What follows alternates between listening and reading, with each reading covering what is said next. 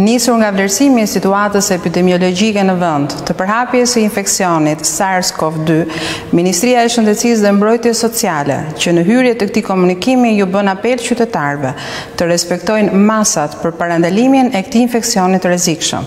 Ruani distancën fizike, mbani detyrimisht maskë në ambiente të mbyllura dhe kur nuk ruhet kjo distancë, Kujdesuni për higjienën e duarve, disinfektoni objektet që prekni, ajrosni ambientet, shmangni grumbullimet, të gjitha këto janë masa të rëndësishme që ju mbrojnë nga Covid nëntëmbëdhjetë. Ministria e Shëndetësisë dhe Mbrojtjes Sociale ju informon rreth situatës së Covid nëntëmbëdhjetë në Shqipëri.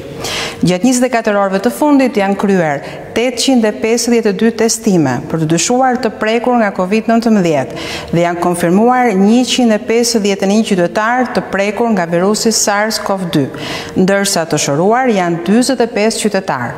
Shpërndarja gjeografike e rasteve është si vijon, tridhjetë e nëntë raste në Tiranë, njëzet e shtatë raste në Durrës, gjashtëmbëdhjetë në Korçë, katërmbëdhjetë raste në Shkodër, dhjetë raste në Lushnjë, tetë raste në Gramsh, gjashtë raste në Elbasan, nga pesë raste në Krujë dhe Mirditë, katër raste në Fier, tre raste në Gjirokastër, dy raste në Devoll, Divjakë, Kolonjë dhe Vorë, një rast në Kurbin, Kavajë, Berat, Mallakastër, Sarandë dhe Patos. Në Spitalin Infektiv dhe Shefqet Ndroqi po trajtohen njëqind e nëntëdhjetë e dy pacientë, nëntëmbëdhjetë janë në terapi intensive, nga të cilët pesë pacientë janë të intubuar.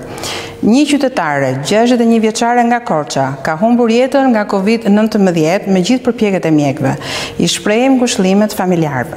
Nëse keni shenja të Covid nëntëmbëdhjetë apo dyshon se jeni të prekur, ju lutem telefononi numrin e urgjencës njëqind e njëzet e shtatë. Në qoftë se kërkoni të lidheni me mjekun e familjes apo këshillim psikologjik, ju lutem telefononi në numrin e gjelbër zero tetëqind dyzet dyzet. Faleminderit.